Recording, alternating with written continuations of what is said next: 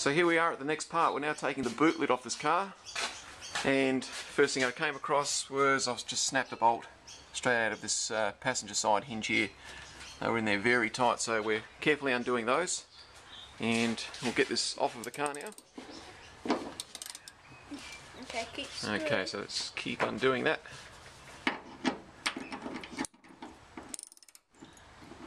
They're being fairly tricky, aren't they? Very, very tight.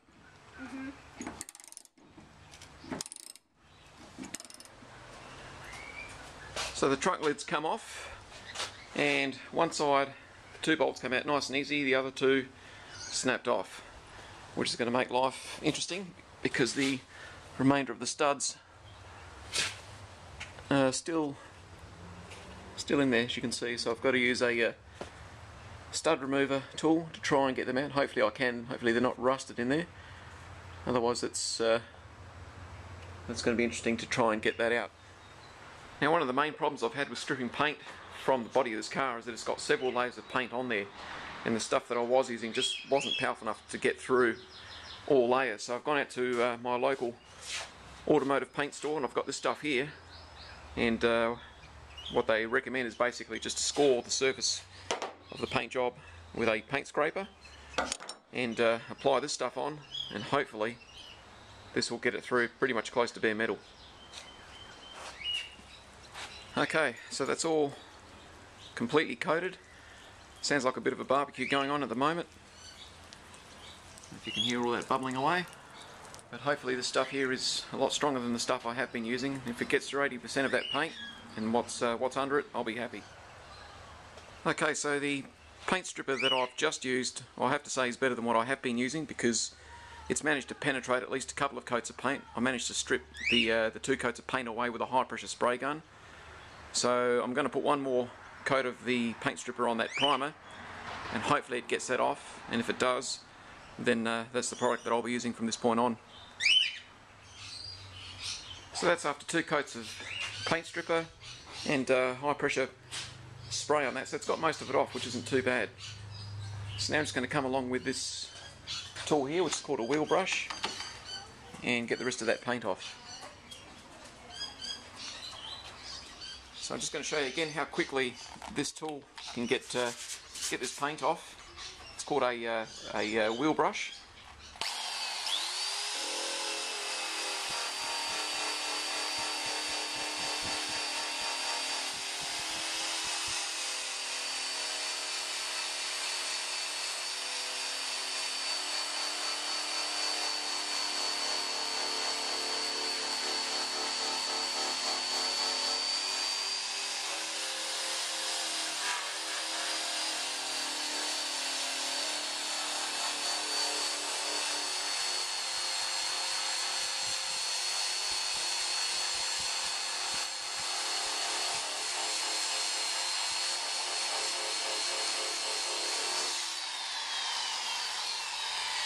And one of the best things about it is it doesn't uh, do any harm to the metal whatsoever. It doesn't scratch it, doesn't distort it, just gets the, the paint off fairly quickly. So that's it. The top of the trunk lid is all the way back to bare metal. Uh, the only poor part I found of it was just this patch here, this rust patch. Now, uh, when I first got the car, this area of the trunk lid was all blistered up in paint. I it looked like it had uh, suffered from heat on, on, from the underside, but it's actually rust that uh, being painted straight over. And uh, I hit it with a fairly coarse wire wheel, my DA sander, 40 grit sandpaper, but the thing that uh, got it off best was best was my my wheel brush. So I've just got a bit more work to do on that. That uh, looks like this area of the car once upon a time had uh, completely lost its paint and sat in the weather and rusted in that very spot. And uh, looks like the rust has hasn't broken through the steel, but it's really soaked in to this patch here. So I've got to do some treatment on here, and then I'll uh, flip this thing over and do the underside, put it in etch primer. So there's a fair bit of work done on this trunk lid already.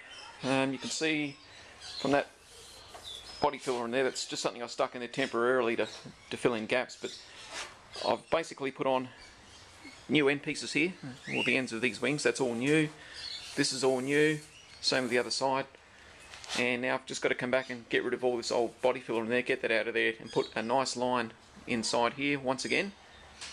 Same on the other side, and then try my chrome pieces, make sure they fit up nicely, and continue on with bodywork on this uh, the end of this boot lid here.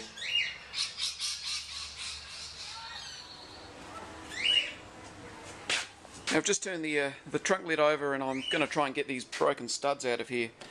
And fingers crossed I'm going to be able to do this without uh, without calling in a professional bolt extractor to do this. So I've got uh, this stuff here which is WD-40 it's uh, something that will penetrate hopefully and get between any sort of rusty areas and help loosen that up.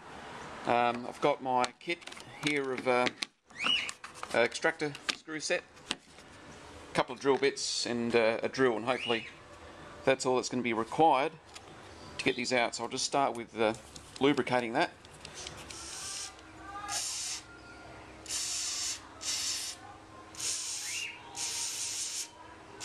Just let that sit in there for a little bit.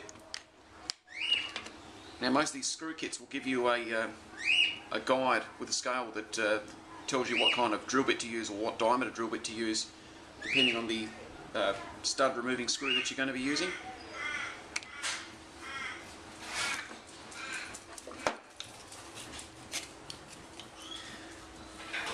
Then it's a matter of using a centre punch, and you've really got to punch a dot right in the centre of the stud.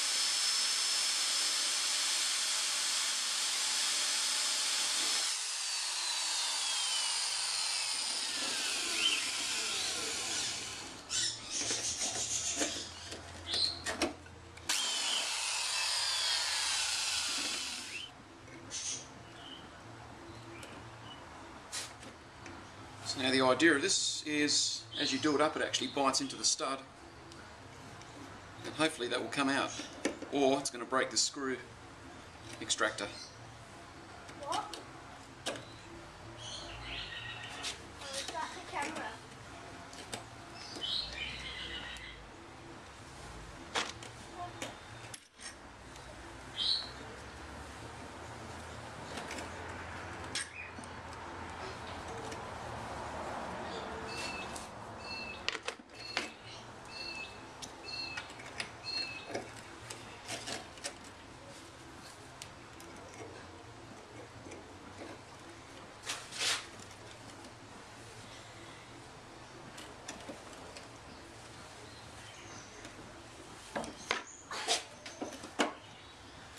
Doesn't seem to be biting in there, so I'll just try a slightly larger screw.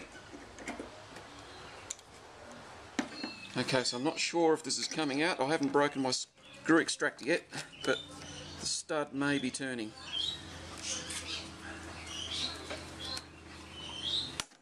No, I've just broken the screw extractor, so that's the end of that one. And that's not something I'm going to be able to drill out. I don't think anyway, so they are really jammed in there. So I'm a bit reluctant to try this one.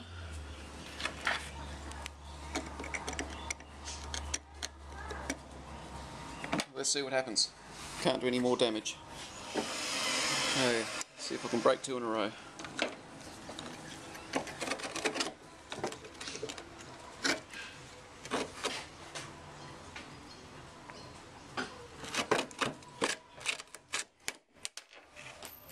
Two. So that's going to have to go to a uh, bolt removal or stud removal specialist.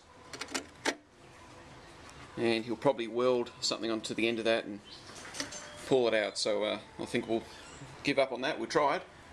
The other two came out okay. And just get back to stripping the paint off this underside and get this in etch primer.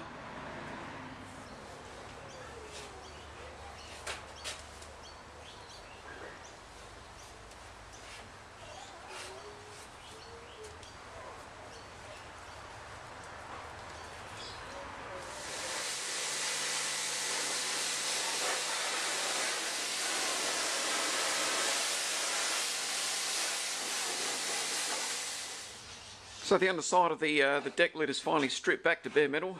This part was this was just a massive job. Um, getting to all those folds and crevices in there that wasn't wasn't easy, but it's done. Um, now it's a matter of just getting all the seam sealer out of the edges all the way around, and uh, get it cleaned up on both sides and get it an etch primer. So then I can start working on uh, these areas here. This this is the only area where there is rust which is uh, not too bad. So it's just this top corner, a little hole there, and I'll have to make a, a patch in this corner here. Now this would have been much easier to uh, get sandblasted underneath, but uh, when I did that to the hood, the underside ended up with getting a lot of grit inside or between the two layers of skin. So I didn't want to do that on the deck lid because you can see there's some fairly large holes there and different spots where it can easily get in and it's just an eternity to get that stuff out. So uh, I've done this by hand. It's taken pretty much a whole day, but at least it's done and uh, it's pretty clean.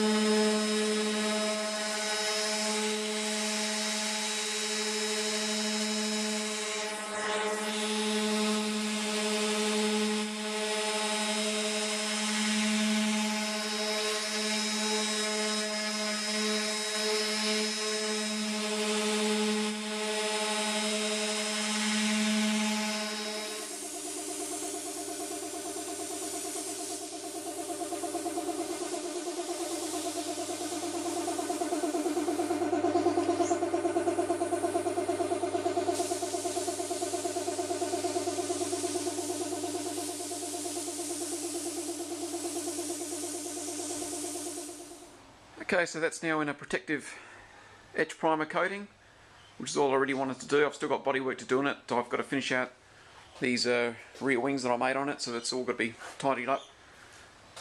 And then the same's got to be done to the underside. So for now, that's protect tomorrow. I'll do uh, the same on the flip side, and then do some body work on it.